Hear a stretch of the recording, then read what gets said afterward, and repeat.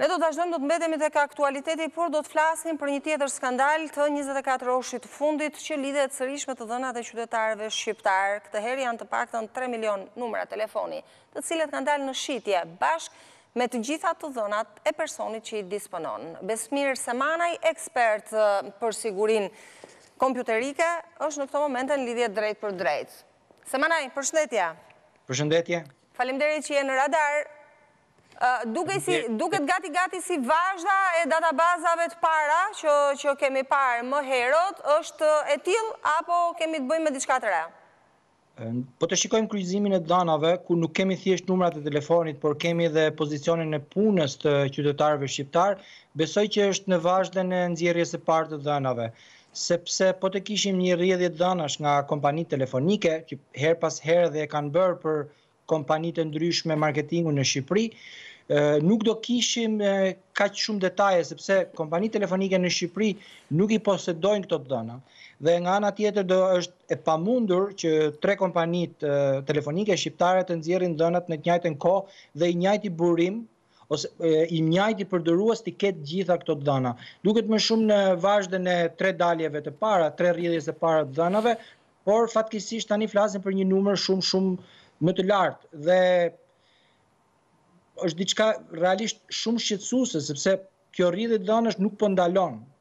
Dolën patronazhistat menduam që përfundoi me aq, por fatkeqësisht kjo databazë vetëm po shtohet dhe shtimi i kësaj databaze thjesht po shton dhe riskun e qytetarëve shqiptarë për t'u mbrojtur ndaj ndaj krimit kibernetik. Në momentin në momentin e daljes së databazës së parë, patronazhistët ishin të parët dhe pastaj vazhduan edhe të tjerat me radhë, u fol për e-Albanian.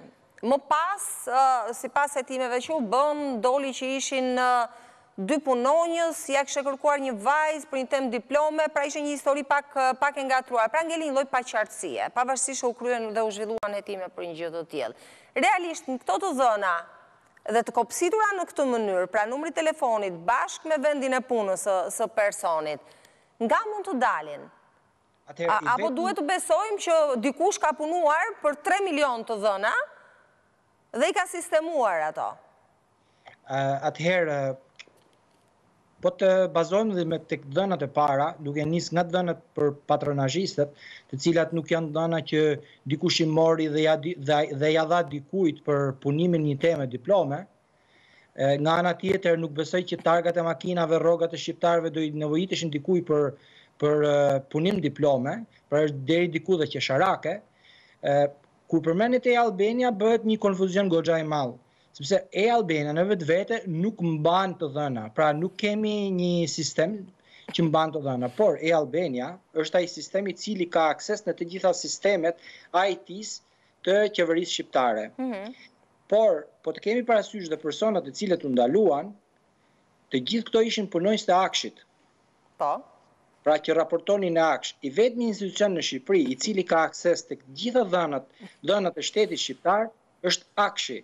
Ë, kjo nuk do thotë që ka dalë nga nga le të themi nga Pola drejtues ose menaxherët e AKSHI-t, por Po, edhe aty ndjesë, Semanaj edhe aty doli emri një gruaje e cila nuk punonte më fare aty, kishte dalë në pension, pra thjesht i kishin përdorur akauntin.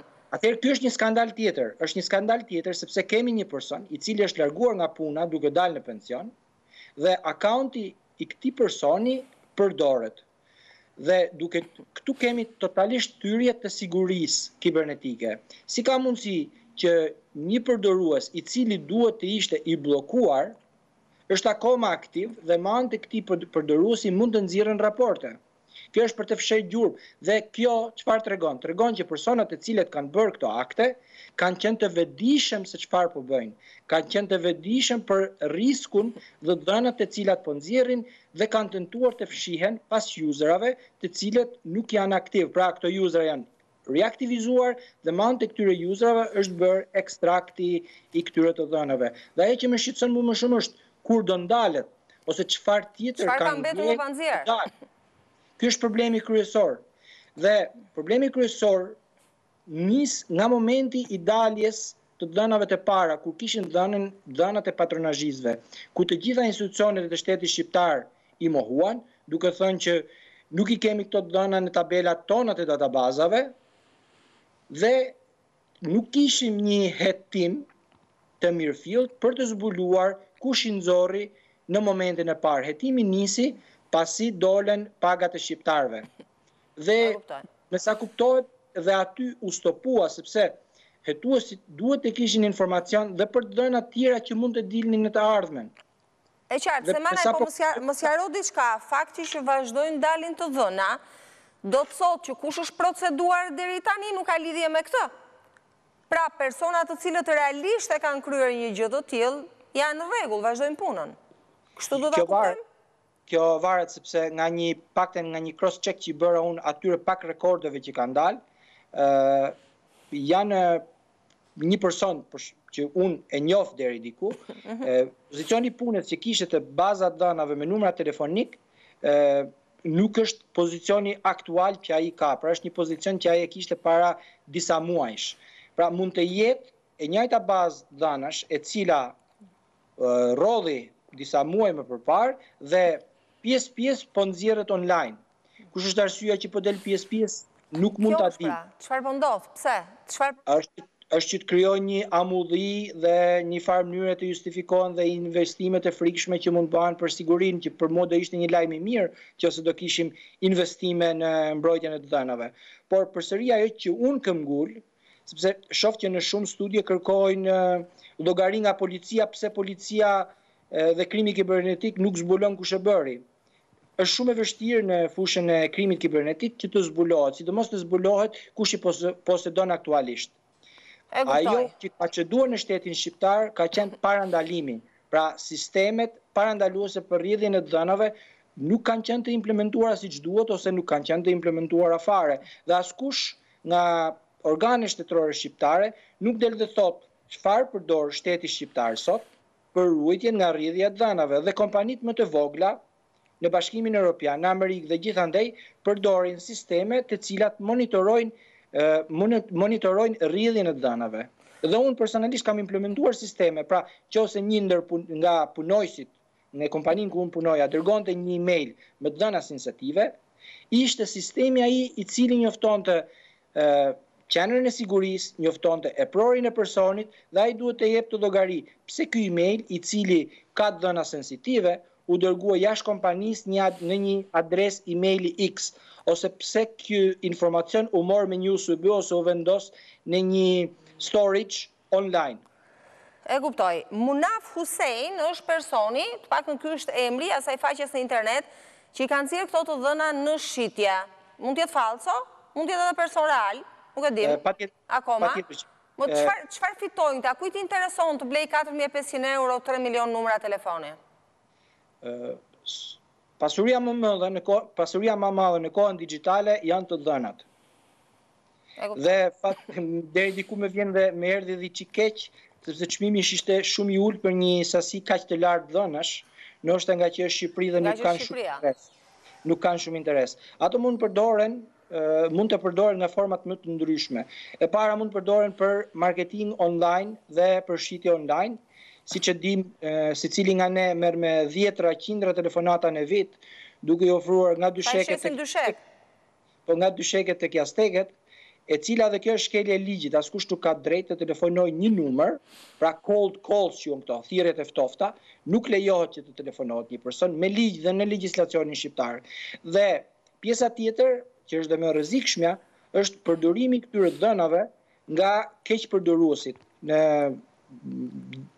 dy tre muajt e fundit kemi pas edhe personalisht kam marrë raportime nga shumë shokë dhe miq dhe qytetarë shqiptarë, të cilët marrin mesazhe të çuditshme dhe mesazhi i dërgohet me emër mbiemër dhe këto mesazhe janë në formën e phishing, pra peshkimit, duke nisur nga shantazhet që X video jote ia është regjistruar etj etj klikoni këtu dhe në momentin që ju klikoni mund të instaloni një virus në telefonin tuaj dhe duke vazhduar me ofertat joshëse për punë të ndryshme ku qytetarët e paditur bien pre e këtyre mashtrimeve dhe po flasim për 3 milion user-a po flasim për numrat telefonit tanë, po flasim për numrat e telefonit të moshës së tretë, po flasim dhe për numrat e telefonit të fëmijëve tanë. Pra, në Shqipëri kemi me qindra mijëra fëmijë të moshës 5, 6, 10, 12 adoleshent që ka një numër telefoni që mund të jetë në emrin tuaj, në emrin e tyre ose në emrin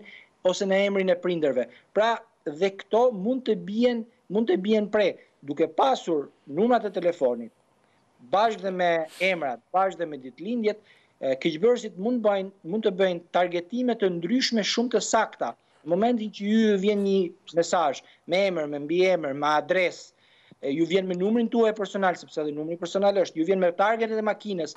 Ky ky, le të themi, ky mesazh është shumë i besueshëm. Në momentin që mesazhi ju vjen nga një sistem dhe le të themi emri i dërguesit është një emër i besueshëm për ju, pra mund t'ju vijnë një mesazh me të gjitha të dhënat tuaja personale në emrin e policisë të shtetit, në emrin e le të themi policisë rrugore për të paguar një gjobë. Po. Ju po. dërgohet dhe linku ku ju të paguani. Dhe me, me opsionet që janë online tani, ti mund të bësh pagesën online, drejtpërsëdrejti dhe lekët shkojnë diku tjetër. Mund të bësh pagesën online dhe personat të cilët mund të bien pre janë të shumtë, po flasim për një kampion prej Dhe kjo është minimalja Semanaj apo jo? Kjo është minimalja, nuk po futen. Sepse mund të shkohet më tej, mund të shkohet deri tek llogaritë bankare. Po siç thash, siç e thash dhe më përpara, në momentin që ju ju dërgon një link dhe nga padituria, tani nuk mund të presin që të ketë dije informatike një fëmijë dhjetë vjeçar ose një i moshuar në moshën shtatëdhjetë e pesë vjeçare. Pra mund t'i hakerohet pajisja. Këto mesazhe mund dërgohen si SMS, por mund dërgohen dhe në WhatsApp. Pra, këto prandaj janë të dhëna personale, janë dhëna personale sepse është dhe sensitive për më tepër, jo thjesht personale. Askush nuk do të ketë. Deri deri përveç këtyre që thamë, nëse do të mund të më thoshe kufirin, tavanin e dëmit, deri ku mund të shkoj? Ai më ekstremi.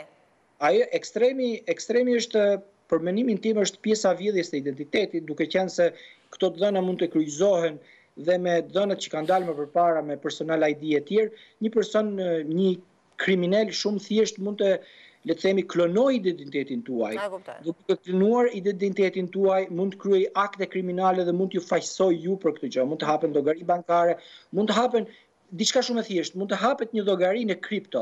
Kohët e fundit kemi folur shumë, u fol dhe në parlamentin shqiptar për pastrimin e paras me anë të kriptovalutave.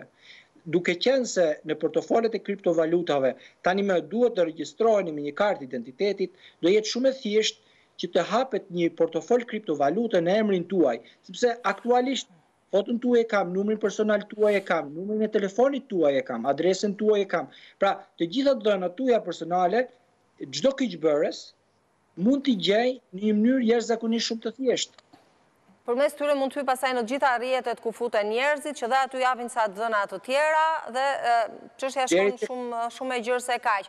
Semanaj, jemi në një moment ku qeveria ka dhënë urdhrin që gjithçka do të bëhet online. dhe që gjithçka të bëhet online, përfshi këtu dhe pagesa, dokumentacione dhe çdo gjë tjetër, padyshim depozitohen dhënat. Për këtë duhet një ligj i posaçëm për mbrojtjen e dhënave që në mos qofsha gabuar drafti është gati, por nuk është miratuar ende. Semanaj, po e para të dhënat tona janë gjitha publike. E dyta, çfarë garancie kemi se tani mund të kalojmë në fazën që dikush mund të hyjë me dhënat tona dhe të kërkojë edhe dokumentacion posaçëm dhe ta marri. Po që të aplikojë në një institucion për diçka, dhe kjo të ndodhi. Me të dhënat aktuale, me të dhënat aktuale që gjinden në internet, nuk duhet të harrojmë që kemi edhe shumë shtetas shqiptarë të cilët nuk kanë një account aktiv në e-Albania. Mjaftojnë këto të dhëna që të hapet një account e-Albania. Dhe nga aty e dim shumë mirë që gjitha shërbimet tani janë online. Dhe ajo që më shqetëson mu më shumë është kjo. Këto të dhëna nuk është se do keqpërdoren sot, Këto të dhëna mund të keqpërdoren dhe pas dhjetë, pesëmbëdhjetë, njëzet vitesh. kur kjo histori do jetë harruar, kjo kur secili prej nesh do e ulë vigjilencën dhe nuk do jetë kaq i kujdesshëm në atë masë sa sot, që të gjitha mediat flasin për këtë gjë, të gjitha portalet flasin për këtë gjë, të gjithë ekspertët dhe specialistët flasin për këtë gjë. Dhe digjitalizimi dhe digjitalizimi ka shkallët dhe hapat e tij. Mhm. Pikë së pari duhet të sigurosh të dhënat, pastaj të kalosh në një digjitalizim të plotë. Kurse Shqipëria aktualisht po kalon në një digjitalizim të plotë, është një gjë jashtëzakonisht shumë pozitive, është një gjë që unë mbështes, por duhet të ndiqen ndiqen hapat. Pra duhet të kemi staf të kualifikuar, duhet të kemi sisteme të posaçme që bëjnë ruajtjen e këtyre të dhënave, duhet të kemi ligje të kopësitura sepse kemi shumë ligje, por mungojnë aktet. Kjo vlen për të ardhmen, po ndërkohë që dëmi është bërë Semanaj, si mund të rikuperohet, pra çfarë mund të bëhet?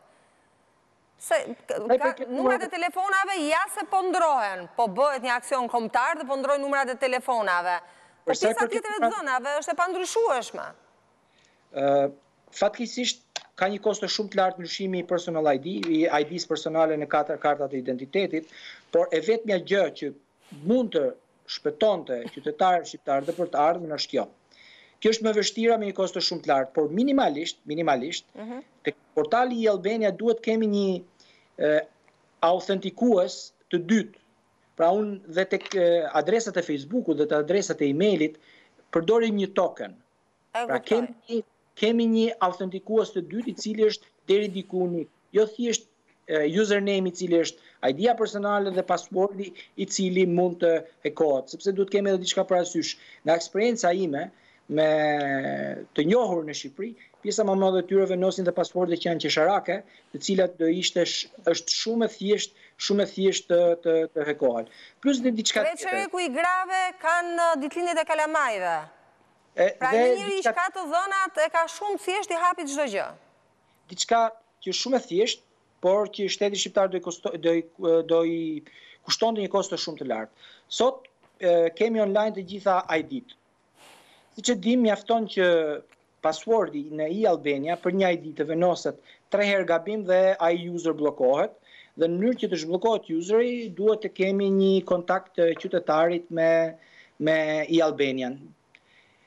Mjafton një skript shumë i thjesht ku të venosen gjitha ID-të e shtetit shqiptar dhe mbrena 10 minutash të bllokohen gjitha. Dhe ky skripti mund të ranohet në mënyrë random çdo një orë dhe çdo një orë gjithë akauntet në e-Albania të qytetarëve shqiptar mund të bllokohen. Pra duket si qesharake, por është diçka shumë thjesht e realizuar. Shumë thjesht, për ata që janë ekspertë bëhet për 10 minuta apo?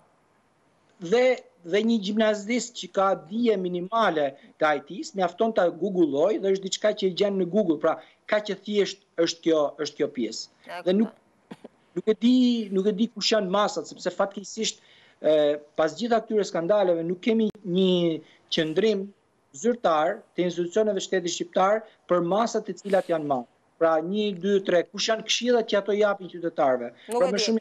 Ka pasur vetëm një reagim sot nga Komisioneri për Mbrojtjen, i cili tha do hetojmë, tha siç hetuam dhe herën e kaluar. Kështu që mund të marrim me mend edhe përfundimin. Semanaj të falenderoj. Lajmi më i shpejt në celularin tënd.